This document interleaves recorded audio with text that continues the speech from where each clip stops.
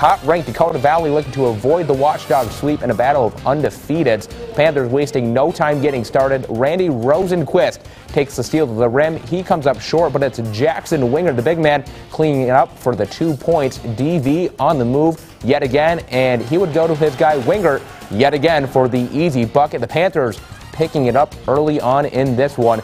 Beresford on the other side, their three-pointer off the mark, but they collect the offensive rebound Kick it out to Tate Van Otterloo. He connects from deep.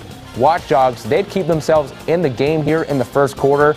But this one quickly became all Dakota Valley. Home team sharing the ball all night. This time it's Preston Carlson who scores on the fast break. DV defeats Beresford 82 to 44.